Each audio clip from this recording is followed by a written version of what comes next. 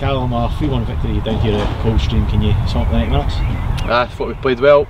It's good to come down here midweek and get the three points, get home. That was all it was about. You got the first goal tonight. Can you talk us through your header? Aye, I just seen Grinch had the ball. I seen seen Aaron at the back post and I told him to make a front post run, just to take the man away, and I'm, I'm free. And sh shut my eyes and hope for the best. Now we want to Tweedmouth on Sunday. Just how important is it to keep winning with two games to go? Yep, that's all it's about. Three points, try and get some goals as well, hopefully, and then move on to next Saturday and that'll be. Well, Thank you. Cheers, Diggy.